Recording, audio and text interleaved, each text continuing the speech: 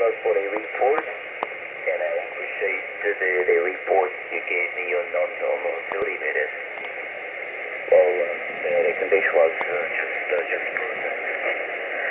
Well, uh, and I was uh, using four element cubical quad. I put in four element cubical quad uh, uh, dual band uh, 30 and it's uh, it's uh, doing excellent job. The performance of this antenna got it. That Now we are running with is uh, UA3TCJ in Russia, and I recently just worked him using nothing more than what seems to be about 75 feet of 22 gauge hookup wire, ranged in a sloper configuration about one end being about 35 feet above the ground from like I think I have it attached to the top of uh, our second story fire escape going down to uh, the ground and as- as I said in the sloper configuration.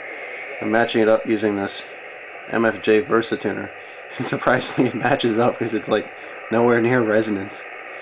It and it, it's it's incredible. I managed to work uh, Andy here in Russia and uh, a guy in Portugal and a guy in Japan uh, not Japan. That'll be that'll be funny. Uh, a guy in Germany.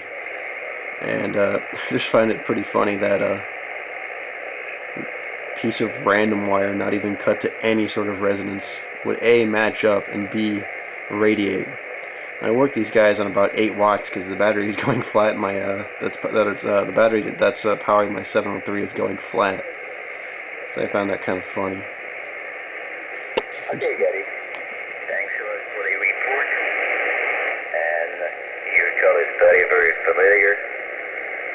Always uh, glad to hear you, Gary. It's currently 9:20 uh, Eastern Standard Time, which is way past what 20 meters should be open, which is really, really kind of almost frightening. United America 3 Tango Charlie Juliet in North America.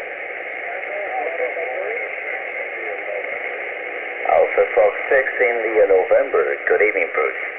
Big signal 59110. Name is Andy. Alpha Nancy Delta Yankee. 400 kilometers east of Moscow. AF6IN UA3 TCJ. It's got to be getting close to. Uh,